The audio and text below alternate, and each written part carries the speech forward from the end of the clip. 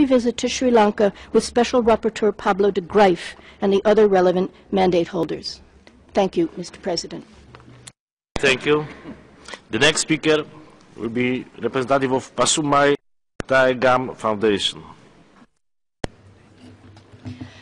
Thank you, Mr. President. Pasumai Thaayagam welcomes the report of Mr. Juan Mendez, Special Rapporteur on Torture and Other Cruel, Inhuman, or Degrading Treatment or Punishment.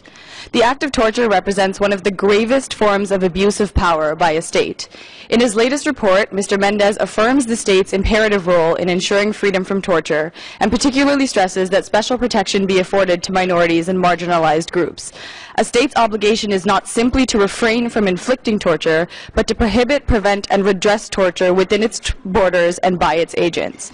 Mr. President, many of Mr. Mendez's observations and recommendations apply to countries outside this report.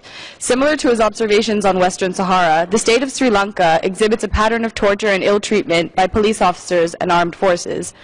Human Rights Watch and Freedom from Torture have compiled medical evidence of over 55 cases since the end of the armed conflict, detailing the use of torture by Sri Lankan police and military personnel, overwhelmingly against Tamils.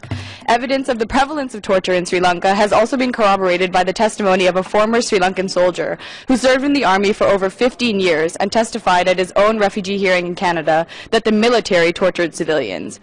Despite recommendations by several states during its Universal Periodic Review, Sri Lanka has yet to ratify the optional protocol to the Convention Against Torture. To echo Mr. Mendez's recommendation to the government of Tajikistan, it is important for the government of Sri Lanka to expedite a prompt, impartial, and thorough investigation into all allegations of torture and cruel, inhuman, or degrading treatment or punishment. However, the state's failure in this regard reflects the culture of impunity in Sri Lanka. The government of Sri Lanka's behavior demonstrates the need for the Council to convene an independent international mechanism to investigate Sri Lanka's alleged violations of international law, as recommended by the High Commissioner.